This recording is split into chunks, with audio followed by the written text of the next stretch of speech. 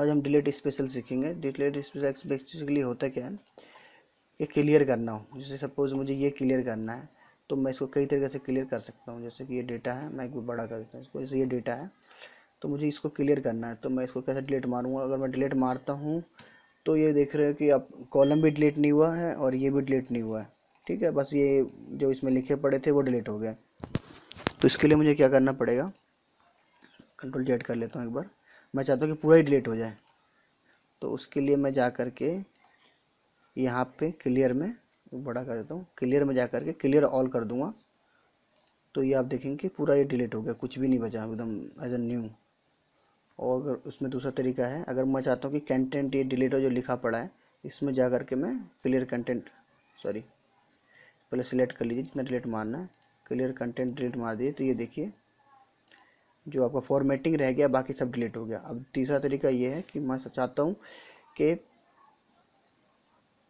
ये formatting delete हो जाए, बाकी चीज़ रहे। तो मैं यहाँ जा कर के पहले मैं सिलेक्ट कर लेता हूँ इसको। यहाँ जा कर के क्लियर फॉर्मेट्स पे क्लिक कर लेता हूँ। ये देखेंगे आप कि बाकी चीज़ तो है हमारा, लेकिन जो फॉर्मेटिंग था वो डिलीट हो गया तो हम जो चीज़ चाहे वो डिलीट कंटेंट डिलीट करना चाहे कंटेंट डिलीट कर सकते हैं इसमें से।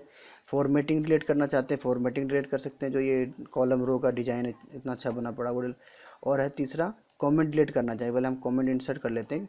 यहाँ पे कुछ भी लिख देते हैं।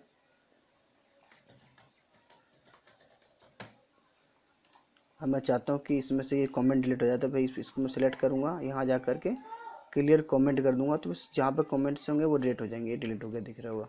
कंट्रोल लेट करके दिखाता हूँ, ये कमेंट है यहाँ पर। इसका माइंड एक्सेल चैप्टर और ये यहाँ जा कर के मैं दो जगह कमेंट है, यहाँ पर भी कमेंट है। तो सिलेक्ट करेंगे या पूरा सिलेक्ट कर लीजिए, लेकिन जहाँ कमेंट होगा वो उसी को डिलीट मारेगा ये क्लियर कमेंट्स और एक चीज़ और है हाइपर लिंक सपोज़ मैं यहाँ पर हाइपर लिंक बनाता हूँ कि हाँ ये जैसे हाइपर लिंक बनाता हूँ कि, बनाता हूँ बनाता हूँ पहले तो. हाइपर लिंक बना दिया मैंने.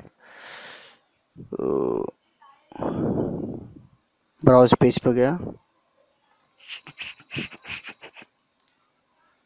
मैंने कि इस पर ये रहा, मैं इंडेक्स पे चला गया। मैं कि मैं जब गूगल डॉट ओ इन पर क्लिक करूँ तो मैं यहाँ पर क्लिक करते ही मैं फ़र्स्ट चैप्टर पे, यानी इंडेक्स वाले पे रो पे चला गया कि मैं ये सिखाने वाला हूँ। लेकिन फिर मैं एक्सेप्टेड पे चलता हूँ दोबारा से। आ गया। ओ सॉरी नाइन पे था चैप्टर नाइन पे।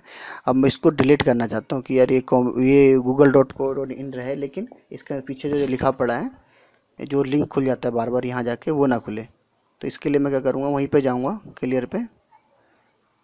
और क्लियर हाइपर लिंक्स कर दूँगा। तो इसके अंदर जो हाइपर लिंक था वो डिलीट हो गया अब। अब ये काम नहीं कर रहा वैसे अभी थोड़ी देर पहले काम कर रहा था कि इन इंडेक्स पे चला जा रहा था। आई होप कि आपको ये चैप्टर अच्छा लगा मिलते हैं नेक्स्ट चैप्टर में। Thank you for watching